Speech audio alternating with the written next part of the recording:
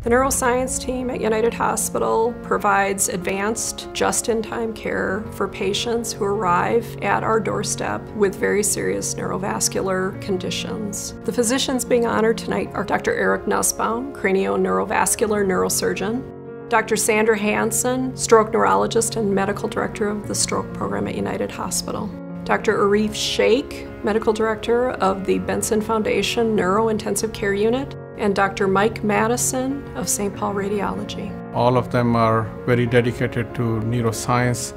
Uh, they are all probably the best doctors in their own areas and they all work as collaborative team and patient care is the focus for everybody and that comes before anything else in our unit, and that's what makes this unit very special and this team very special. We never worry about waking someone up in the middle of the night. We have a neurologist, we have a neurointensivist, we have an interventional neuroradiologist, and we have a vascular neurosurgeon that are available at any time of the day to provide care to any patient at any location because we all can just bounce ideas off each other, be at the ready for this patient when they come to United, and I think that's what makes us so successful as a team.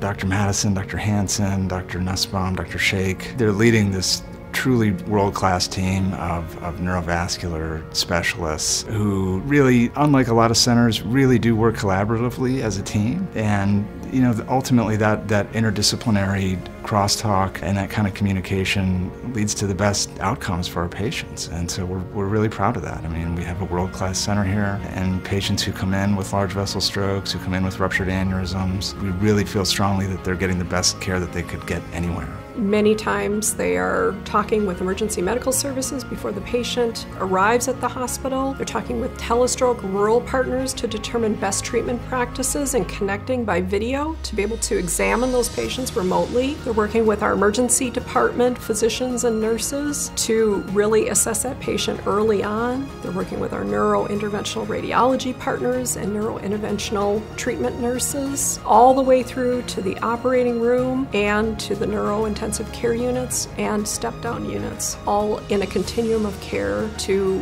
follow that patient from beginning to end of treatment and beyond. All four of these physicians should be recognized because there's never a time where someone says, Well, I'm off the clock. My shift is done. I'm not responsible anymore. When a patient is in need, they're there ready to take care of this person.